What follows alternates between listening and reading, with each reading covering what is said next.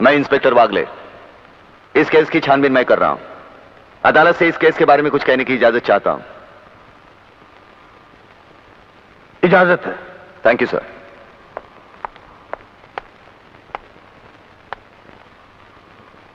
your honour इंसाफ के इस मंदिर में आपको न्याय करते हुए कई साल हुए होंगे। और इन सालों में आपके सामने रेप और मर्डर्स के अनगिनत केसेस भी आए होंगे। क्या उन अनगिनत केसों में आपके सामने कोई ऐसा केस आया है जहाँ कत्ल और बलात्कार करने वाले ने जिसके ऊपर बलात्कार किया है उसे खुद अस्पताल पहुँचाया हो? ये तो अभी तक सुना नहीं कभी सही कह रहा है ये। है, कुछ ना गड़बड़ ज़रूर है। बहुत बड़ी ऑर्डर ऑर्डर। इंस्पेक्टर वागले मुझसे सवाल करने की बजाय आप इस केस में रोशनी डालिए। वही कोशिश कर रहा हूँ सर।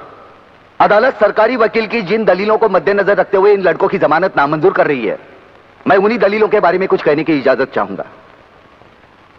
इजाज़त है?